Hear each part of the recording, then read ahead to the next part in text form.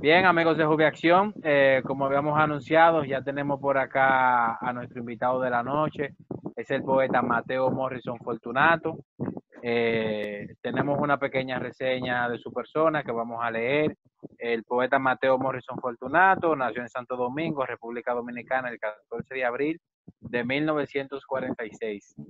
Es un escritor dominicano, abogado, poeta, ensayista y exdirector del suplemento literario. Eh, fue escogido ganador del Premio Nacional de Literatura de República Dominicana en 2010. Y bueno, eh, así le damos la bienvenida al poeta Mateo Morrison, con quien vamos a conversar acerca de algunas propuestas eh, que tiene. Con muchísimo gusto. Una iniciativa. Con muchísimo gusto.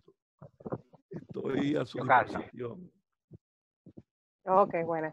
Eh, realmente, bueno, hay que decir de nuevo, es un honor tenerlo acá con nosotros, entonces, eh, porque usted es un hombre, bueno, que, eh, que le da, pues, honor a este país. Bueno, así, de manera de introducción, vamos a hablar sobre una iniciativa que usted tiene hace unos cuantos años, pero que ya en medio de esta pandemia eh, sigue, está, sigue funcionando, que es que hable un poco sobre la Fundación Espacios Culturales, específicamente eh, y básicamente cuáles son los objetivos y las actividades. Muchísimas gracias. La Fundación Espacios Culturales surgió el 27 de noviembre del año 1997.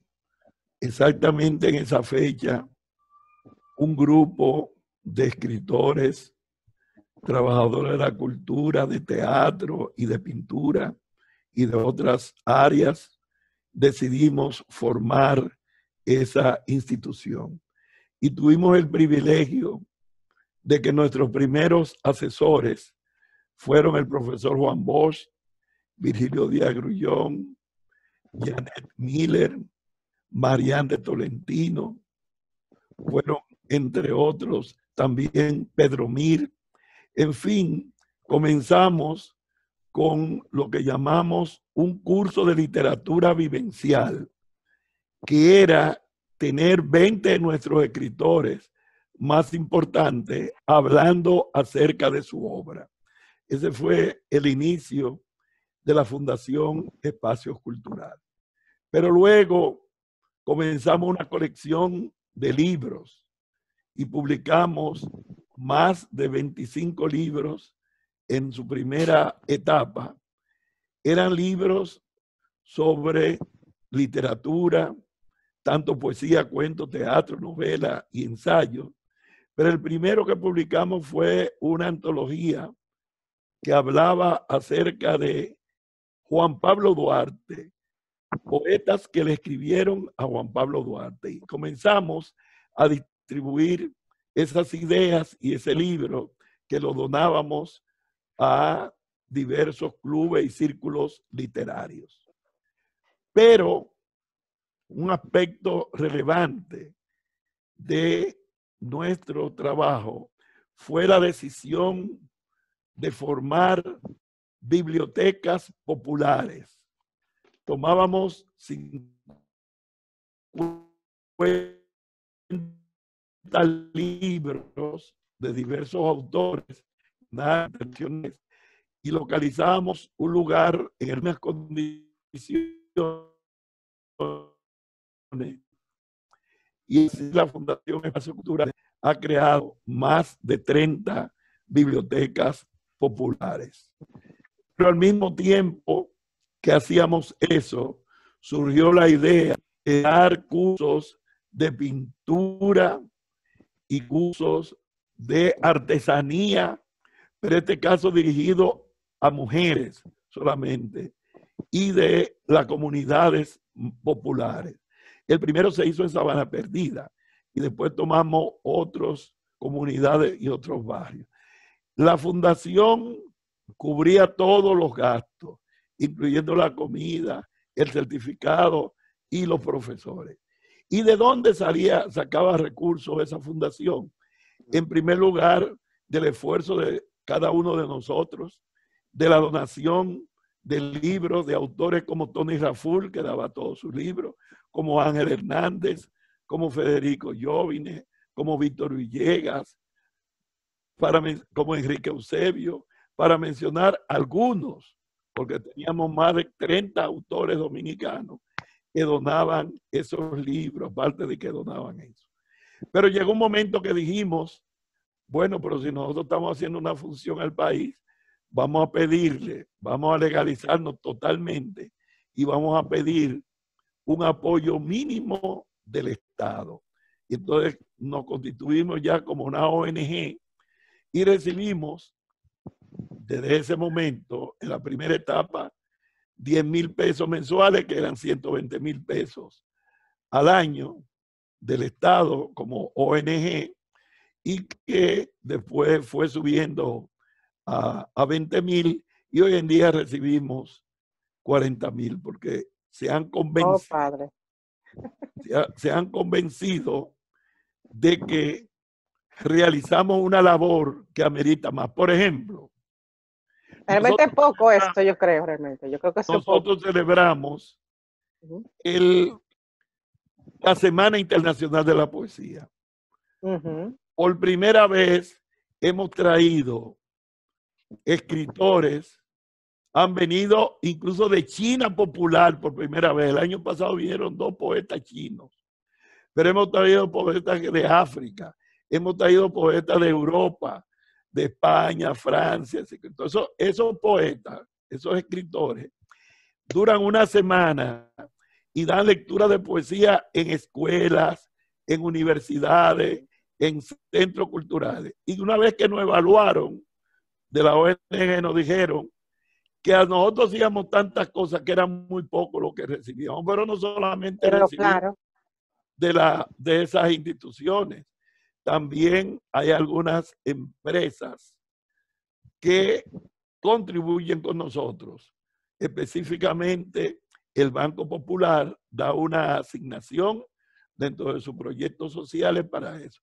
Pero también Morrison Ingenieros y Quality que son dos empresas de mis hijos, ¿verdad? Dos empresas de mis hijos que también dan un aporte. La Universidad Autónoma de Santo Domingo, aunque no nos da recursos materiales, pone a, disposición primero su prestigio, sus profesores, sus estudiantes y, a ver, y nos da también el apoyo con transporte para los invitados nacionales e internacionales.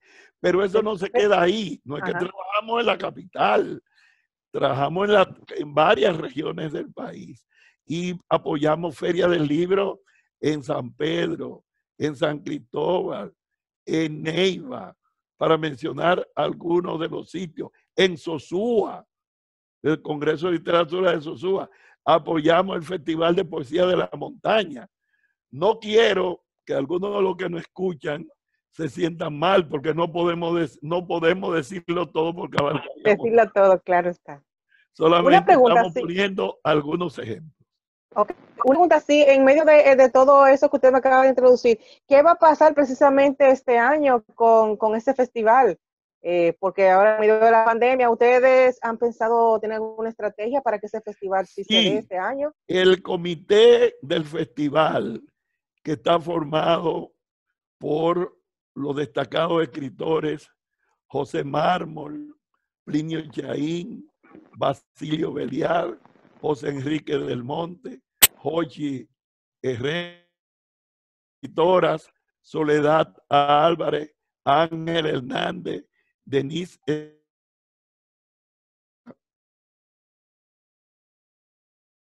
eh, un mes y algo, un mes y medio, por, por esta misma vía. Y nos reunimos los nueve y tomamos la decisión de que la Semana de la Poesía va este año. Naturalmente tenemos que adecuarnos a las condiciones actuales y va a ser más por las nuevas, por las redes sociales, más que presencial. Siempre era presencial.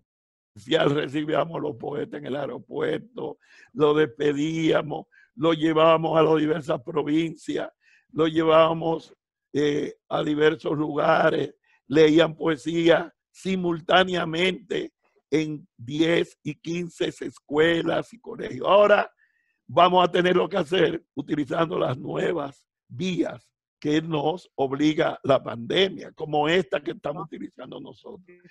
Y ahora vamos a hacer del 19 al 25, va la Semana Internacional de la Poesía de octubre. ¿Por qué se hace en octubre?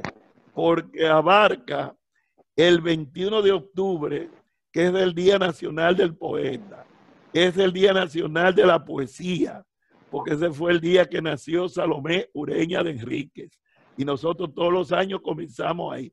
Y terminamos abarcando también el mes aniversario de la UAS. Como la UAS fue fundada el 28 de octubre de, 1400, de, de 1538, nosotros entonces, como parte de esa tradición, todos los años la UAS también es parte de nuestro Por eso siempre en octubre. Pero cuando decimos una semana, le queremos decir que antes de comenzar hay actividades preinaugurales. Por ejemplo, en la segunda semana de septiembre del mes que viene, se ponen en circulación dos libros editados en España uno que es un libro acerca de un gran poeta nuestro, un poco olvidado, pero que hicimos un libro de él que se llama Juan Sánchez Lamuf como poeta de la negritud. Y ahora eso está en realidad en la actualidad, el tema del racismo, la discriminación y las luchas por, por, la, por la igualdad en todos los sentidos. Ese libro de Juan Sánchez Lamú que pondremos en circulación va a ser de mucha importancia. Se editó en España por la editora Amargor y estará en el país. Pero lo vamos a poner en circulación en el Café Literario, que es un proyecto sumamente importante que dirige Verónica Sención y que ahí vamos a poner ese libro en circulación, pero también vamos a poner otro libro en circulación. Y es que nosotros todos los años, los poetas internacionales y los poetas nacionales que participan, hacemos una antología. Hacemos una antología que incluye esos poemas y se va a poner en circulación esa antología con poetas de China, de España, de Perú, de Chile, de Haití, de República Dominicana, de Cuba y de otros países. O sea, como ustedes ven... Poeta, eh, ¿qué, apoyo reciben del Ministerio de Cultura y si reciben algún tipo de apoyo para los, los, materiales didácticos de la editora nacional? Y cómo, en honor a la verdad, en honor a la verdad que tenemos que decir, tenemos cuatro años que no recibimos ningún apoyo oh. del Ministerio de Cultura, incluso el año pasado ni siquiera lo pedimos. Oye, eso. Yo espero que las nuevas condiciones que pueden presentarse permitan que la Semana de la Poesía pueda tener una interacción y pueda tener un apoyo del Ministerio de Cultura, pero hace cuatro años que no lo recibimos. Oh, Tenemos que reconocer que anteriormente habíamos hecho alguna interacción y habíamos tenido participación, pero hace cuatro años que no lo hacemos con apoyo de alguna institución, algunas de las cuales mencioné, con el esfuerzo de nosotros, pero no hemos tenido el apoyo del ministerio en los últimos cuatro años. Esperamos que eso cambie, porque así podemos hacer muchas más cosas y ojalá podamos tener una interacción con, el, con las nuevas autoridades del ministerio que iniciarán el 16 de agosto, que puedan ser más fructíferas y de mayor que la que hemos tenido hasta ahora. Lo cual no quiere decir que otras instituciones que son del Estado, no el ministerio, pero que apoyan la cultura, sí nos han apoyado. Y en eso tenemos que mencionar, por ejemplo, el Centro Cultural Reservas, que nos ha dado que ha dado el espacio para que participemos. Tenemos que mencionar a IDAC, Instituto de Aviación Civil, que nos da algún apoyo también con los pasajes. Tenemos que, mencionar a Impostón, que da un apoyo, por lo menos un agasajo a los invitados internacionales al más alto, al más alto nivel. Y puede que se me quede. Ah, también hemos recibido el apoyo no material, ni un centavo, pero sí del Ministerio de Educación que no ha abierto sus aulas y, no, y la Dirección de Cultura nos ha estado apoyando por varios años para que podamos llevar a los poetas a la escuela, nos reciben muy bien y es una forma también de apoyo. Se nos quedan otras instituciones porque eh, la semana de la muchos temas, tenemos que hablar todavía mucho, maestro. ¿Cómo escogen los poetas nacionales? ¿Cómo? ¿Cómo escogen los poetas nacionales que ah, participan? Ah, no. Los poetas nacionales es una buenísima pregunta. Nosotros tenemos que ser lo más amplio posible. Y los poetas nacionales en sentido general participan. Lo hacemos en forma rotativa, porque este es un país de muchos poetas y muchos poetas nacionales. Y entonces sí, cada año hacemos una selección rotativa y los que no leen por lo menos nos apoyan asistiendo a los actos o dando una conferencia. Pero evidentemente que somos tantos que todos los años no pueden participar todos los poetas en todas las lecturas. Pero sí podemos decir que tenemos un sólido apoyo de los poetas nacionales. Ahí nosotros hemos hecho antología, por ejemplo, hace la antología de los poetas nacionales de la sexta semana internacional fue un tomo grandísimo de los nacionales y otro de los internacionales. Entonces, de ahí en adelante lo hemos juntado, eh, tanto los nacionales como los internacionales. Pero sí, esa es una buena pregunta porque siempre la selección es difícil y es verdad que a veces se nos quejan algunos, ¿verdad? Se nos quejan algunos y entonces tratamos de resolverlo el año eh, próximo. Porque quisiéramos que todos leyeran, pero hay que hacer una selección y hay que tomar, y una cosa que hemos hecho este año, se ha insistido mucho, sobre todo una de nuestras, de nuestra parte del equipo, que es de la, de las más jóvenes de mi español, que insiste que tenemos que poner más jóvenes a leer.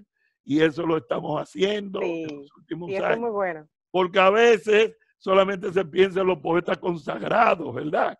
pero tenemos que pensar también en las y darle el mayor claro, el relevo.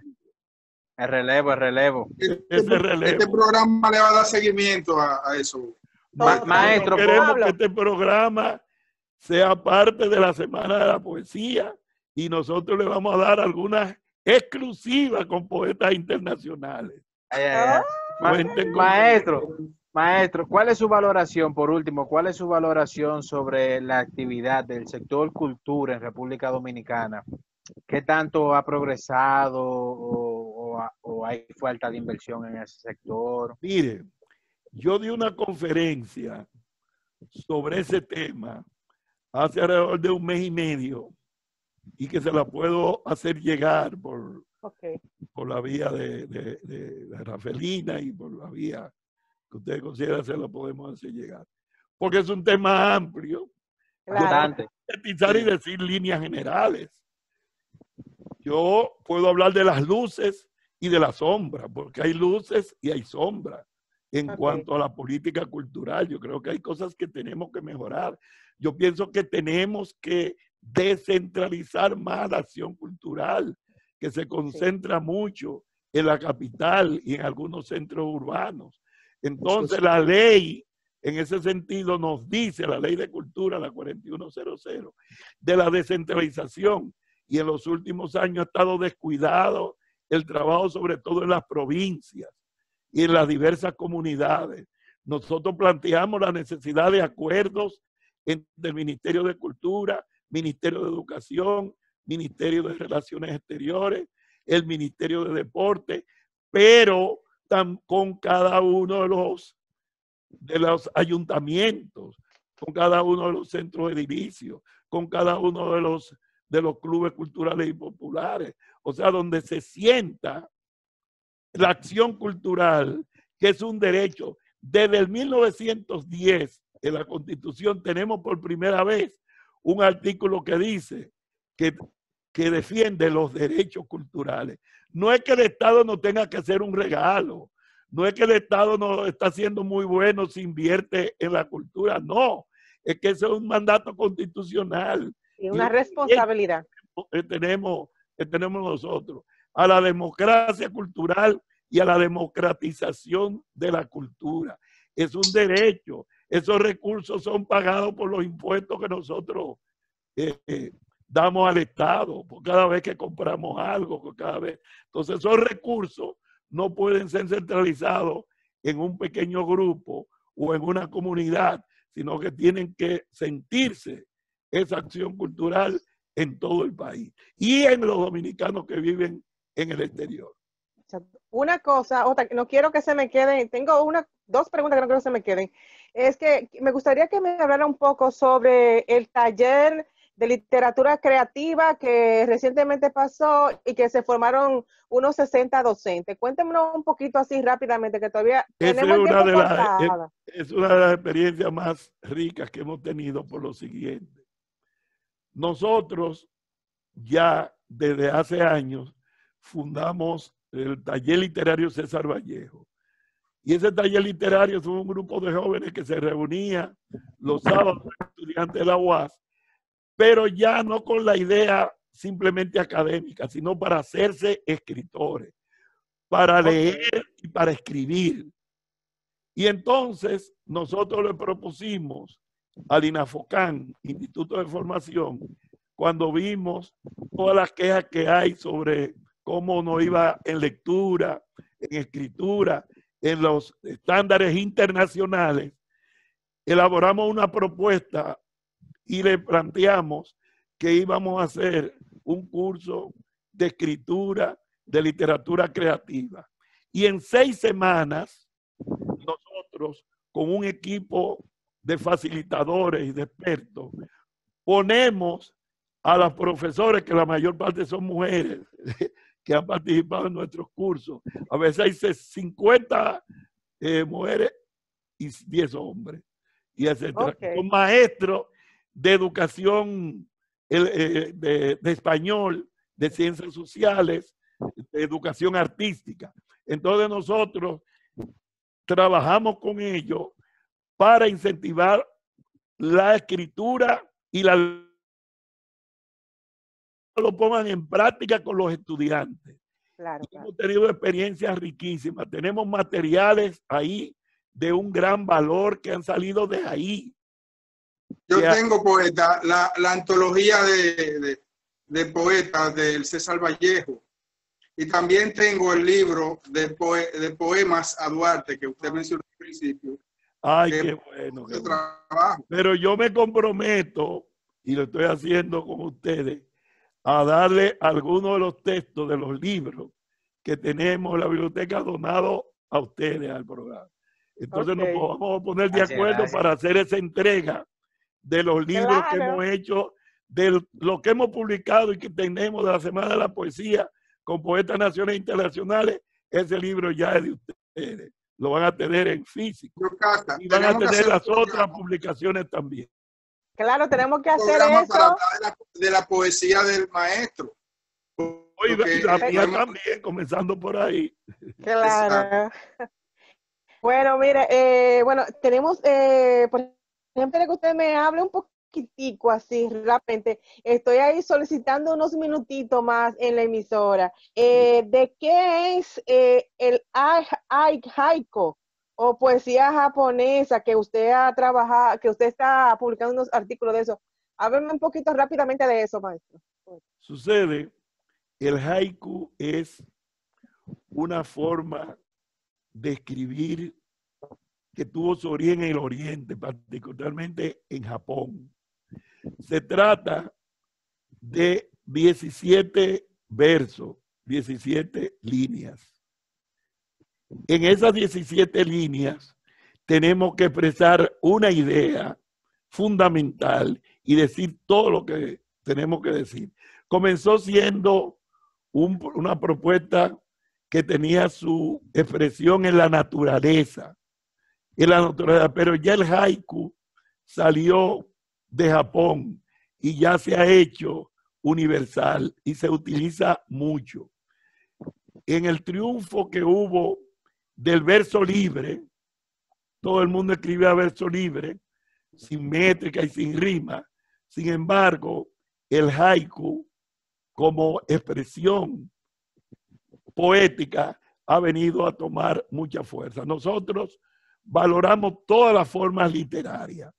Así como valoramos la décima, valoramos el soneto y valoramos el haiku y otras formas literarias. Pero también valoramos el verso libre, que es un verso que no se sujeta a cantidad de métricos, a, cantidad de rimas, y ya recordaremos siempre al gran poeta Domingo Moreno Jiménez, fundador del postumismo, que decía, quiero escribir un verso sin métrica y sin rima, sin nada de lo que pide a gritos la retórica. Entonces, valoramos el haiku, valoramos el soneto, valoramos la décima y todas las formas métricas. Pero tenemos que reconocer que en los últimos tiempos la mayor forma de escritura es el llamado verso libre, donde no hay métrica y rima y donde eh, la fuerza de la poesía está en el interior, en las palabras, en cómo combinar esas palabras y hacer precisamente tuve el privilegio de que me llamaran de la Organización de Estados Iberoamericanos para pedirme que uno de mis poemas fuera escogido y fue seleccionado Poema del Dolor No Merecido para que fuera el centro de una campaña nacional y luego iberoamericana con ese poema.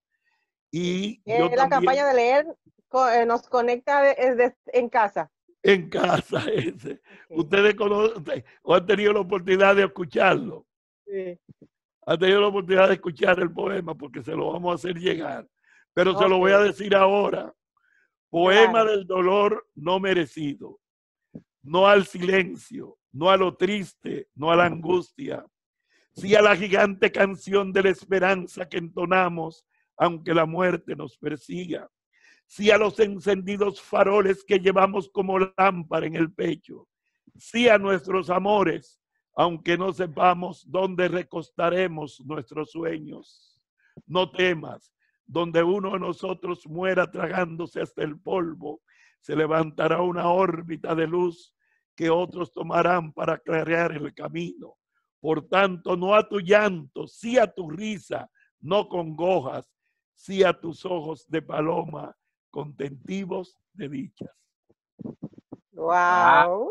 Ah, Dios mío, Entonces este poema Mire, ay Dios. la Organización de Estado Iberoamericano para la Educación, la Ciencia y la Cultura lo ha puesto como punto y lo han entonces reeditado miles de estudiantes, profesores, poetas de diversos países y ahora ha comenzado, se comenzó a traducir al, ya está en portugués, ya está en italiano, ya lo están traduciendo al italiano, lo van también a, poner en japonés. Entonces yo tengo el compromiso y Vileisi y Rafelina tienen el compromiso de hacerle llegar esas versiones de ese poema. Creo que hasta en Israel. Dios santo, ya son las 8 y 5, ¿no? Me va a matar Mili y el próximo programa, pero una así eh, rápidamente. Rafa, ¿tienen una pregunta así? Sí, eh, al poeta, en los 90 se, eh, había muchos círculos de estudio y muchos talleres literarios. ¿Ustedes como fundación están patrocinando en, en las provincias, en los pueblos, algún tipo de, de círculo de estudio o talleres literarios? Así es nosotros damos apoyo a partir de solicitudes a los talleres literarios. Desde el 1979 que se fundó el taller literario César Vallejo, que nosotros tuvimos el honor de fundarlo en la Universidad Autónoma de Santo Domingo, se han multiplicado los talleres y círculos literarios. Hay muchos en el país y eso es muy bueno, Por ejemplo. Yo soy miembro del CIELA, de ASO. Ay, pero qué bueno, qué bueno. Ay, que, que sea un poeta, es, un poeta. Es una, es una, es una, zona de poetas. Con Virgilio, Virgilio López. Virgilio López Azuán, gran amigo, querido y excelente escritor, sí, claro. Entonces nosotros tuvimos en la Festival de la Montaña con el taller literario Ángel Hernández, que ya existe, y también tuvimos con el taller literario Roberto Marcallé Abreu.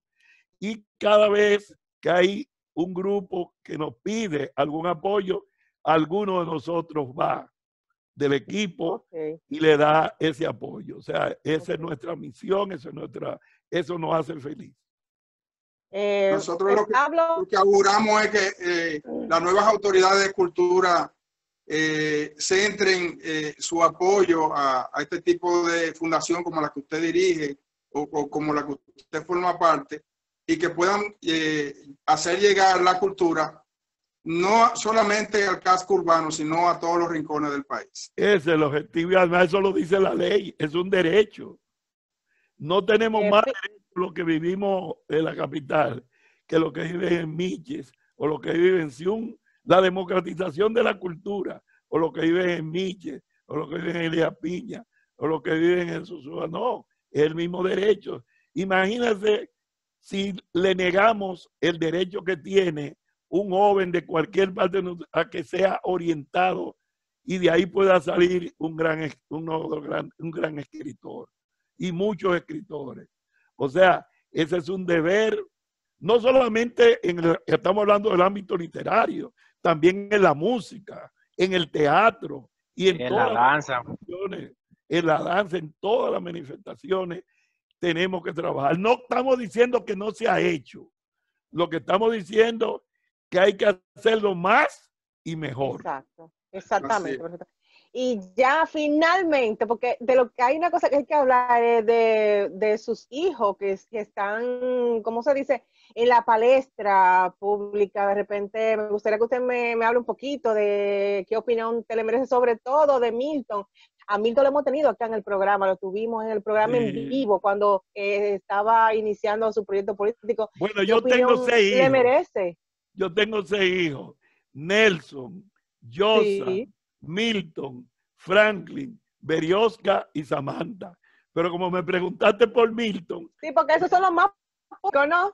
Sí, eh, me preguntaste por Milton. Milton es presidente del partido País Posible.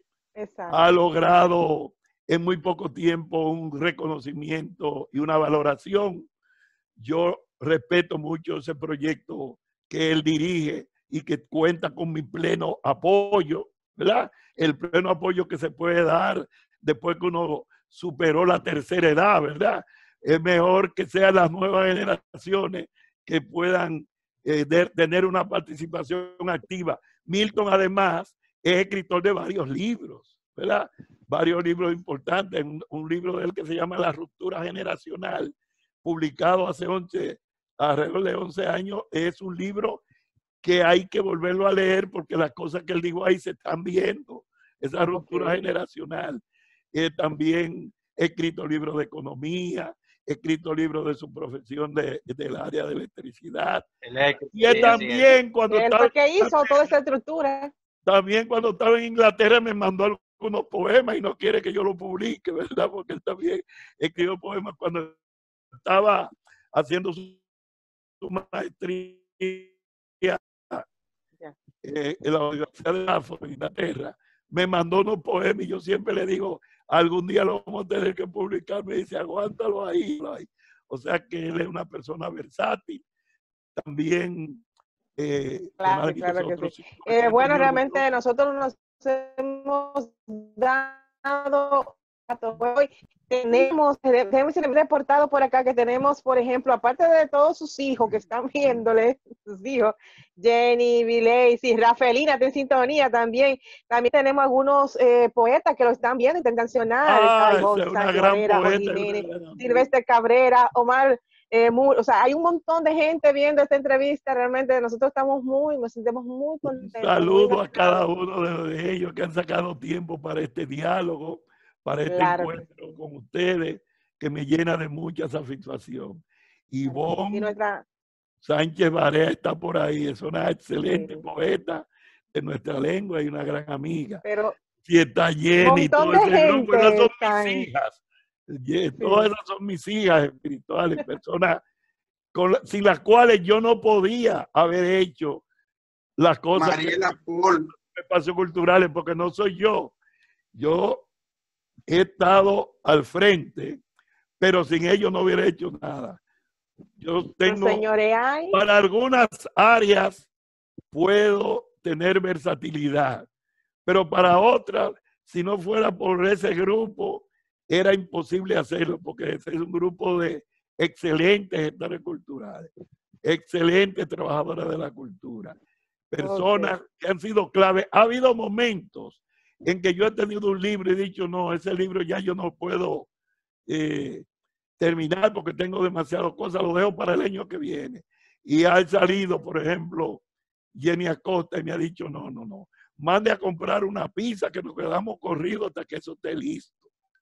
cuando digo Jenny, digo todas. Cuando digo Jenny es para mencionar solo un nombre, que es la que ha estado junto con Bexaida y con los demás, más, con más tiempo conmigo, siempre presente. Más, yo soy el padrino de sus hijos. Imagínese usted. Ok. Bueno, vamos eh, ya a final, ya, eh, Pablo. Ahora vamos final. Sí, porque mire, tenemos 10 minutos de más, nos van a matar bueno. el programa. Eh, un saludito, finalmente, un saludo a María del Carmen Ramírez, también que está en sintonía. Ay, pero esa es una persona entrañable. María del Carmen, desde el principio, cuando yo comencé, ya estaba ahí al lado mío, apoyándome. Estaba jovencita y me pasaba las cosas a máquina. Una persona queridísima. Bueno, gracias al maestro y poeta Mateo Morrison por haber compartido este tiempo y esas informaciones eh, con nosotros. Eh, nos alegramos de que pudiera haberlas compartido con nosotros y nuestro público. Así llegamos al final de nuestro espacio. Será hasta la próxima semana de 7 a 8 de la noche por cabina34radio.com. Desde que Rafelina me habló de esto, yo le dije aprobado. Y me gracias, gracias.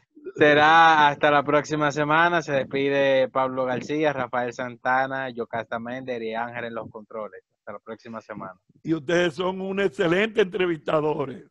Gracias. Me permitió preguntas esenciales. Muchísimas gracias por la oportunidad. Y la próxima cuando ustedes la planifiquen. Gracias, gracias, maestro.